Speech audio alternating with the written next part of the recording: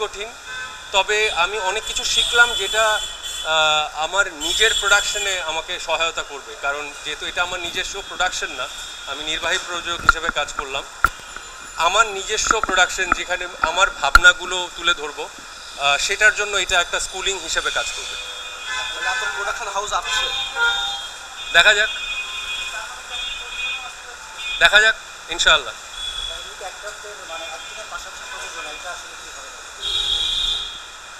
এটা তো পৃথিবীতে নতুন নয়। এটা পৃথিবীতে ইতিহাসের শুরু থেকে এটা হয়ে আসছে। অভিনেতা বা অভিনেত্রীরা একটা সময় গিয়ে নিজেদের যেই সঞ্চিত অভিজ্ঞতা সেখান থেকে তাদের ভালো লাগার যে চরিত্রগুলো বা তারা যেভাবে গল্পগুলো বলতে চায়, সেই গল্পগুলো নিজের উদ্যোগে তারা দর্শকের সামনে নিয়ে আসে। আমার ক্ষেত্রেও সেমটাই হবে।